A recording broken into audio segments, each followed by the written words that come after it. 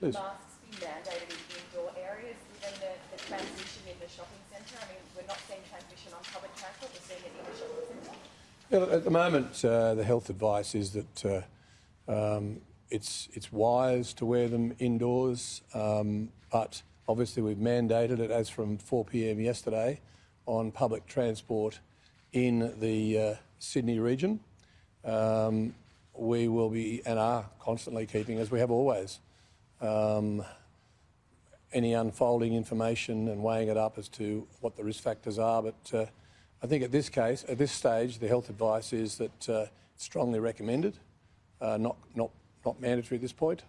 Um, and we'll, we'll, as I said, we'll consider that if, if we need to. Uh, Perhaps this is a fair question, uh, but um, I mean, that's it's a pretty extraordinary number of people probably at the Westfields that you're asking to get tested. Do you have a sense of numbers as to how many people? Look, caught up in- obviously, obviously there could be thousands of people, hopefully in the Westfield Shopping Centre over those uh, times. Um, and we are asking. Normally, we ask, of course, if you have any symptoms to go and get tested, or you've been to specific venues, specific venues. But what we're saying is this is such. This virus appears to be such a near and present danger to, to almost anybody in the vicinity that uh, it's wise, uh, if you're there on those days, uh, to go and get tested. Now, we're not being overly prescriptive or restrictive at this stage. I think you'd have to say that New South Wales uh, has always struck the balance of uh, trying to make sure that the risk profile is, is, is correctly uh, assessed and not, not placing too many restrictions on, uh, on our residents. But the worry with this virus is that uh, um, when we're interviewing people, um, and you can imagine, I'm sure those who are listening would, would reflect on this, that if you, if you know you've gone to a particular shop, well, that's good, but you may well have completely forgotten how you got there, where you parked, which car park, um, which escalators you went up. Um, I know I regularly do that. Struggle to find the car sometimes, but anyway.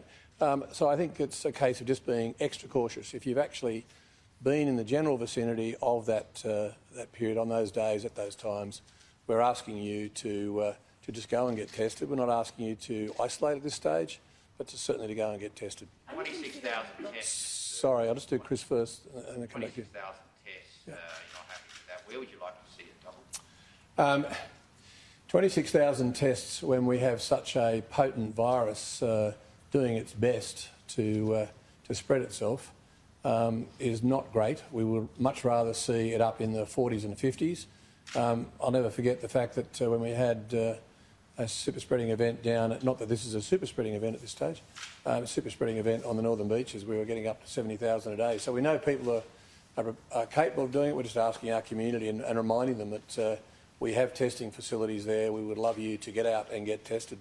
A bit hard to put an actual number, a precise number on it, Chris, but certainly uh, we'd be feeling more comfortable if we were up in the 40s and 50s. Are you considering locking down the eastern suburbs at all, like we saw with the northern beaches? Uh, no, not at this stage. It's um, look, it's it's being managed, I think, uh, carefully uh, with the appropriate risk uh, uh, profile issues being considered. Um, I think the community just need to be on high alert in the eastern suburbs, particularly. Uh, as the Premier and I said yesterday, it might be wise for people to minimise their movement around at the present time in the eastern suburbs. Um, it, and if you are, if you do have to go to the shops, you want to go to the shops, just uh, very wise to wear a mask in there at the present time.